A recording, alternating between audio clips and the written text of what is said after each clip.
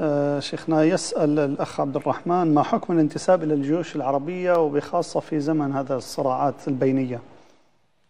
الانتساب للجيوش إذا كان المقصود به أن يكون الإنسان مواطنا في دولة معينة ولا يجد وظيفة إلا في جيش أو يجدها ولكن وجد وظيفة في جيشها وفيه خدمات يقدمها الجيش للوطن كحماية المواطنين والدفاع عن المظلومين وغير ذلك هذه خدمات واجبة وله أن يشتغل فيها. فله للإنسان أن يتوظف في الجيوش. لكن يبقى السؤال إذا اشتبك الجيش مع جيش آخر مسلم وحينئذ على المسلم أن يكفه والنبي صلى الله عليه وسلم قال التقى المسلمان بسيفيهما فالقاتل والمقتول في النار. قيل يا رسول الله هذا القاتل وما بال المقتول؟ قال أليس كان حريصا على قتل صاحبه؟ وكذلك صح عنه صلى الله عليه وسلم في وصيته أنه قال لا ترجعوا بعدي كفارا يضرب بعضكم رقاب حتى لو كانوا بغاة. نعم ما هذه إذا كانوا بغاة ثبت ذلك.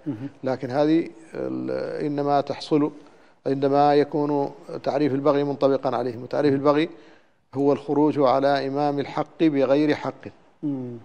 لا بد أن يكون إمام حق.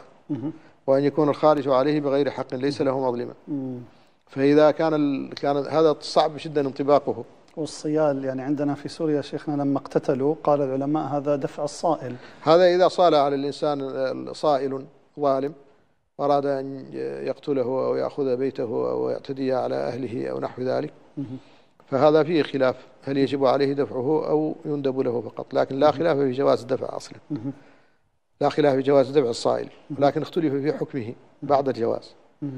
وهل, جو وهل دفاع صائل على حرم أو نفس أو مال يجوز أو حتم.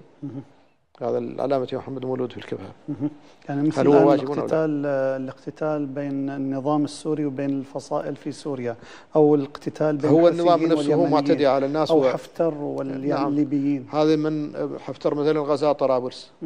فهذا غازي ظالم لا شك أنه يجب دفعه. وهذا ليس مختصا بالجيش الليبي بل يجب على كل من قدر أن يدفعه. ومثل ذلك أيضا العصائب التي تقاتل في سوريا ضد المواطنين والسكان.